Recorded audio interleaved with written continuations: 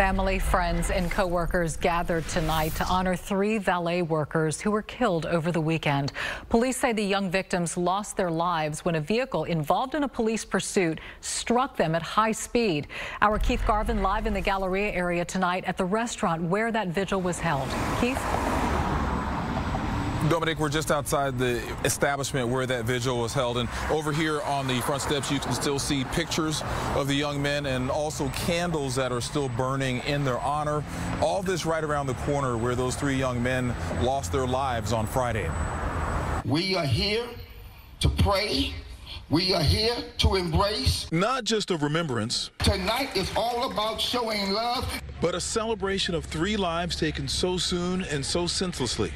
Tonight about Houston showing love to these three families. Nearly 200 people showed up at the Prospect Park Sports Bar near the Galleria to honor the lives of 18-year-old Fanan Miasho, 22-year-old Eric Orduna, and 23-year-old Nick Rodriguez.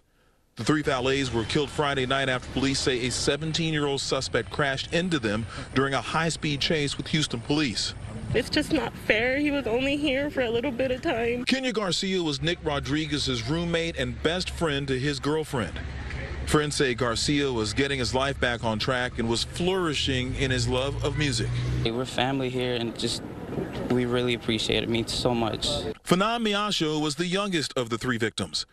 His family moved to Houston from the East African country of Eritrea, and Fanan was trying to build a life of his own. I just want to tell him that I love him so much, and I want him. I want to. I want to see him again. One, two, three.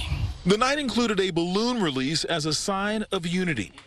Unity to honor these three young men and to seek justice for their lost lives. It's so nice to see that people care about getting justice for what's taken away from us so so stupidly.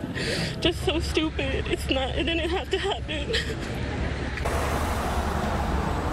Yeah, a lot of pain. A lot of them are dealing with. The families of Fanan Miasho and also Eric Orduna have set up GoFundMe accounts to help with the funeral expenses for those two. If you would like to contribute, just look for the links in this story at click2houston.com. Reporting live near the Galleria, Keith Garvin, KPRC 2 News.